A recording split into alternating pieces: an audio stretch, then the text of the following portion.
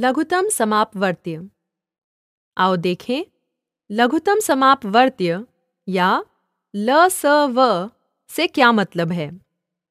मैं यह मान के चलती हूँ कि आप पहले से ही जानते हैं कि गुणज क्या है। तो आओ इन दो संख्याओं पर विचार करें।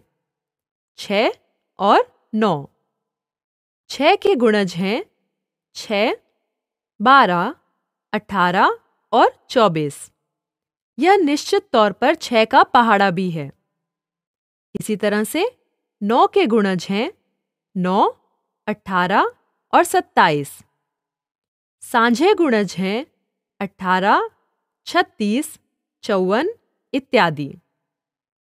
क्या हम सभी सांझे गुणजों को परिभाषित कर सकते हैं? नहीं, क्योंकि हम किसी संख्या के सभी गुणजों को नहीं जान सकते।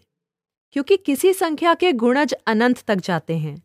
इनका कोई अंत नहीं है। किसी संख्या के पहाड़े को सूचीबद्ध करने में आप अनंत तक जा सकते हैं।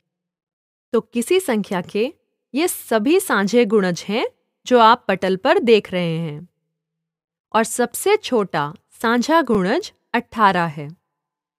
क्या हम उच्चतम साझा गुणज परिभाषित कर सकते हैं? नहीं। क्यों नहीं?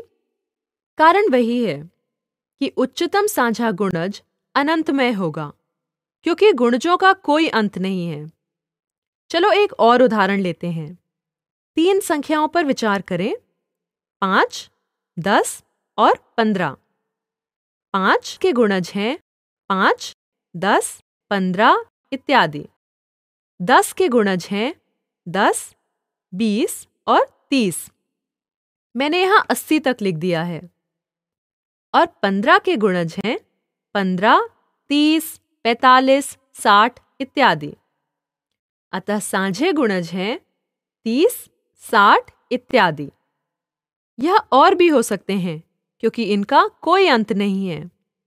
सबसे छोटा साझा गुणज तीस है, और इसी तरह हम दी गई संख्याओं का लघुतम समापवर्त्य ज्ञात करते हैं।